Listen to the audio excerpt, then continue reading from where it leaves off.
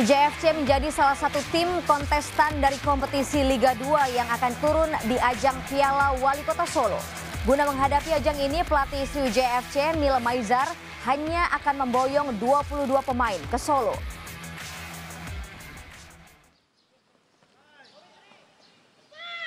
Pasca melakoni tiga laga uji coba dalam tur ke Pulau Jawa, skuad Sriwijaya FC akan kembali melanjutkan agenda uji coba mengikuti turnamen Piala Wali Kota Solo.